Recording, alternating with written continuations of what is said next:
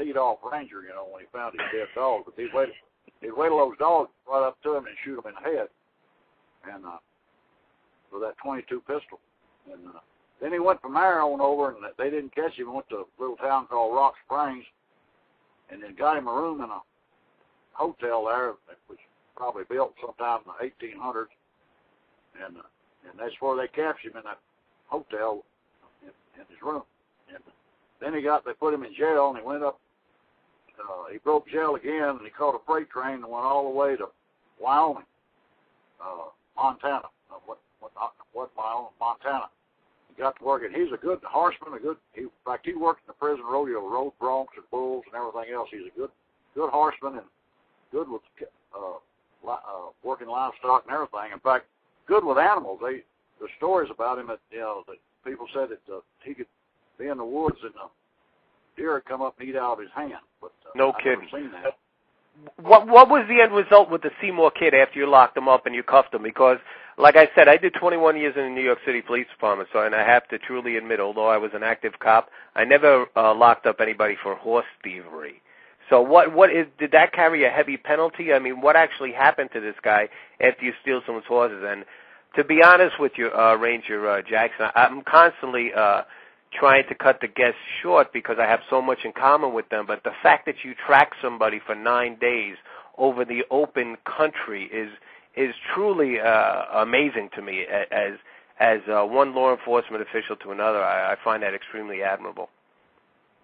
Well, sir, it's a I don't know, when you're young and full of pee and vinegar, you know, you do a lot of use. You well know, having been a policeman, you, and of course, you, you know, when you're young, uh, just a lot more durability, and, and but you get your mind made up, you're going to do something, you go do it, until you uh, can't go any longer, you know, or something. But anyway, I, I was lucky that that I, and what I tried to do is stay out ahead of him. I, I tried to uh, outguess him when I'd find a place he'd hit, well, I'd, I'd try to I had a map, try to figure out where they look and see where the next cabin was and where water was, because so when you're a hunting man like that, you, you got to have food and water, and because uh, he'd get his food from burglarizing those cabins, and uh, and also if he's armed, he, he'd also kill small game, kill a rabbit or something like that, eat it. Yep. But but anyway, uh, I try well, when you got a man out in you can, you try to get out in front of him. If you can figure out the direction he's taking, and you're cutting sign on him, and figure out the direction he's taking, where he may go for the next water hole or the next uh, place where a cabin where he can get some food. You try to get out in front of him and, and wait for him and and and, and uh, ambush him there, you know, and catch him there instead of because uh, otherwise, uh, you know, if, if you don't get out ahead of him, he's going to ambush you.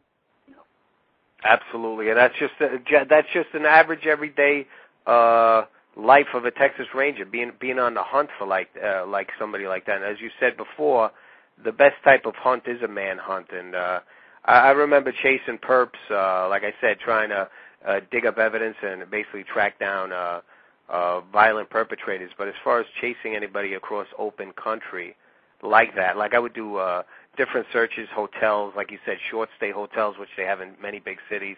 Uh, wh- where would you go and find shelter, food? Because that's every man's necessity to get shelter and food. But uh, to do that over the open country, I just find truly amazing. I really do. Well, I'll tell you what amazed me is is New York City. I went there one time when I was going through the FBI Academy at Quantico.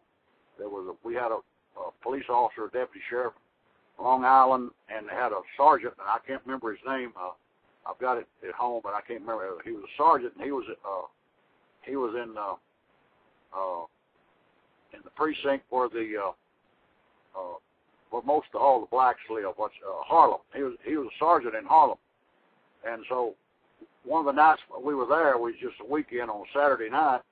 Well, he asked me if I'd like to go look around. I said sure. So, and I'm gonna tell you, you know, that's a jungle. You know, you talk about oh, yep. being out in the open and, and I'm out in the hill country with lots of trees and brush and, and hill and stuff like that.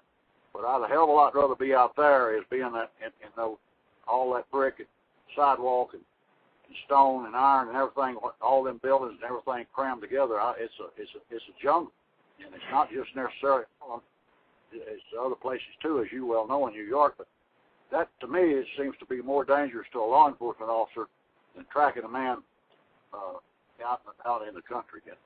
but but anyway, we with that night I never will forget. Uh, they had y'all had at that time some kind of special force that reacts to when officers shot or officer down or shooting taking place with officers that they they were driving they were in Suburbans carrying equipment with them and stuff and and they they what what y'all call them? They they reacted to a response team it's emergency service?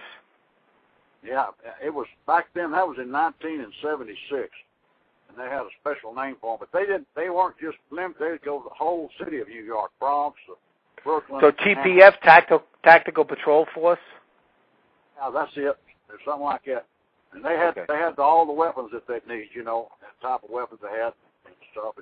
So any one of these officers, he, they was there. We were there in Harlem. He says, "You want to go in? Go in with me. I'm going to make a little run through this old hotel here in Harlem." I said, "Sure, I'll go with you." He said, "Are you armed?" I said, "Yes, sir. I'm always armed." So we went in and walked in that. Ho- we come through that hotel door, and I looked over there, and there was this black guy sitting behind a bulletproof uh, the desk where you normally where you go restaurant in a hotel, it had glass, bulletproof glass all around it, all around it. And I thought to myself, this is not a good place to be. You know. You're right. Anyway, so anyway, we he's come on. So we went. and It didn't have any elevator. We went up the stairway. We, before we started up the stairway, that officer unsnapped his pistol, unsnapped his uh, uh, uh, snap on his strap on his uh, hold sidearm. Yeah, he was carrying a revolver at that time. That was in 70, 76, 70, 76 or 78. A 38 six-shot revolver. Yep, Smith and Wesson. That's what he was carrying. So he unsnapped that pistol and reached, got to put his hand on the butt of that pistol, and he stopped and he looked up them stairways, and I was standing back behind him. And we went up. When every time that stairway would make a turn, well, he'd stop and look up. It. And we went down through and knocked on a couple of doors. I never will get. There's a bunch of drug addicts in there and there was one guy. The guy came to the door was a white guy, which was a big surprise to me. But he looked he looked like death warmed over. He's a drug addict, but he was in the room and had a, a big black guy was in there with him, and uh, but that officer, when that guy opened that door, that officer stuck that 38 right, right under his nose and backed him right back in the room, you know. And, and oh yeah. They, they that's how they have to live. Otherwise, the officer's not going to live very long. You know, it, it's funny you brought that up and you stated the uh, year was uh, 1976 because we have a, a a listener on the show. His name is Jim Cook. He's also an author, and he wrote the book The Man Behind the Tin.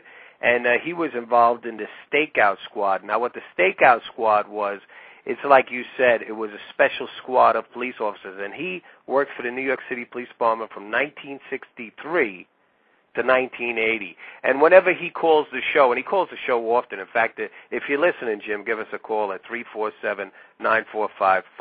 I'll have the producer put you right through so you can speak to Ranger uh, Jackson. When he calls in, I'm just truly amazed at the style of policing back then as compared to now because he used to go out with grease guns and they used to go out with their choice of firearms which were a lot more effective and to tell you the truth, when they came into a neighborhood, they put the fear of God in the criminals.